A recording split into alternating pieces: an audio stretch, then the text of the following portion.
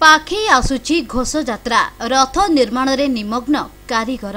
ତାଳଧ୍ୱଜ ରଥର ଏଗାରଟି ଚକ ଶେଷ ହୋଇ ଅନ୍ୟ ଦୁଇଟି ତୁମ୍ବରେ ଅର ସଂଯୋଗ ସହ ପଇବିନ୍ଧ କାର୍ଯ୍ୟ ଚାଲୁଥିବା ବେଳେ ଦେବଦଳନ ରଥର ଗତକାଲି ନଅଟି ଚକ ଶେଷ ହୋଇଛି।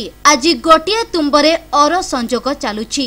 ଅନ୍ୟପଟେ ନନ୍ଦିଘୋଷ ରଥର ଏଗାରଟି ଚକ ଶେଷ ହୋଇଛି। ତାଳଧ୍ୱଜ ରଥର ସମସ୍ତ ସାତଗୋଟି ଅଖ ଶେଷ ହୋଇ ମଠା କାର୍ଯ୍ୟ ଚାଲିଛି। ଦେବଦଳନ ରଥର ସମସ୍ତ ଛଅ ଗୋଟି ଅଖ ଶେଷ ହୋଇଛି ଏବଂ ନନ୍ଦିଘୋଷ ରଥର ଛଅଟି ଅଖ ଶେଷ ହୋଇ ଦୁଇଟି ଅଖର କାମ ଚାଲିଛି ତିନି ରଥର ଚାରିନାହାକା କାର୍ଯ୍ୟ ଶେଷ ପର୍ଯ୍ୟାୟରେ ଥିବାବେଳେ ତିନି ରଥର ଦୁଇଟି ଲେଖାଏଁ ଗରଗରା କାର୍ଯ୍ୟ ଚାଲୁ ରହିଛି। ସେପଟେ ଦୋଳବେଦୀରେ କରତି ସେବକଙ୍କ ଦ୍ୱାରା ଗୟଳ ଚିରଟ କାର୍ଯ୍ୟ ଚାଲୁ ରହିଛି ଏବଂ ମୋଟ ଛଅଟି ଗୟଳ ମଧ୍ୟରୁ ଦୁଇଟିର ଚିରଟ କାର୍ଯ୍ୟ ଶେଷ ହୋଇଛି। ଓଝା ସେବକଙ୍କ ଦ୍ୱାରା ଦୋଳବେଦୀ ଅସ୍ଥାୟୀ ସ୍ଥାନରେ ଅଖ କଣ୍ଟା କୋଡ଼ିଏ ଏମ୍ଏମ୍ ର ମୋଟେଇ ଏବଂ ଚୌରସ କଣ୍ଟା କୋଡ଼ିଏ ଏମ୍ଏମ୍ ଆଗପାତାଳି କଣ୍ଟା ତିଆରି ଚାଲିଛି।